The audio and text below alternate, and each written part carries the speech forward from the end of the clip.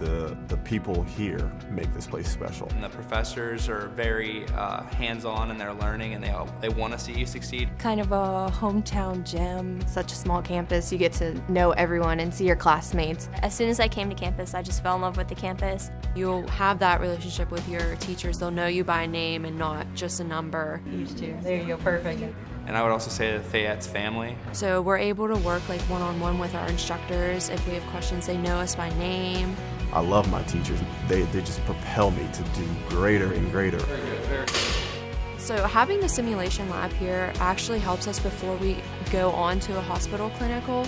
Um, we get to see that hands-on stuff before we actually have to do it. Penn State Fayette has a lot of different clubs. They have anything that appeals to anybody. They have a video gaming club. Like fawn. They have an outdoor club. They have a Christian club. It's really convenient if you want to do a lot of the stuff on there. Like there's Pens games, Pirates games, shows at the Benedum that are all discounted. There's some biking trails, uh, walking trails. You can go whitewater rafting. There's a bunch of things to do.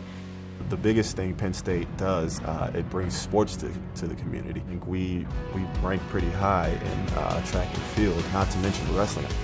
I really feel like athletics are really growing here. Our motto here is education before athletics. They have a great balance of school and athletics.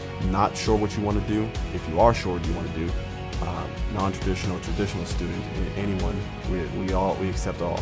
Everyone's just so nice here and just everyone's full of support. It's nice to have that connection with the professors, to have people you can talk to every day, to feel welcomed. That really just propel you through your, your degree. I mean, it's just, it's amazing here.